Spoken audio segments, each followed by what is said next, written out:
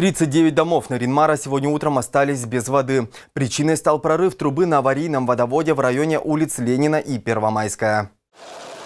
Звонок в диспетчерскую муниципального предприятия объединенных и тепловых сетей с сообщением о прорыве трубы поступил около 7.30. На место выехала аварийная бригада. К 8 часам была отключена водонасосная станция номер 2. В районе значит, э, пересечение улиц Первомайской и, Ленин, и Ленина э, лужа, обнаружили лужу с водой.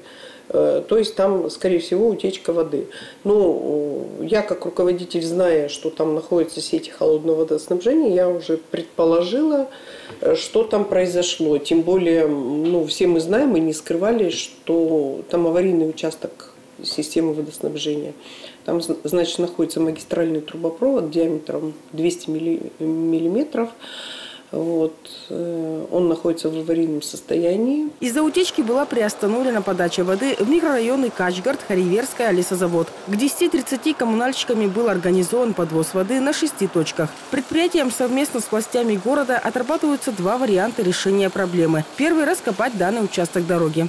Такой очень сложный путь – это этот участок центральной автодороги раскопать, что будет очень сложно, потому что там проходит и газ высокого давления, много электрических сетей, сетей связи.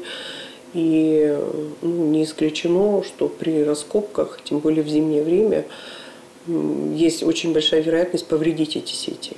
Второй вариант не менее сложный. Коммунальщики уже приступили к его реализации. Эта врезка будет в колодце около Качгартинской курьи, где в настоящий момент уже идут работы работниками ПОКа.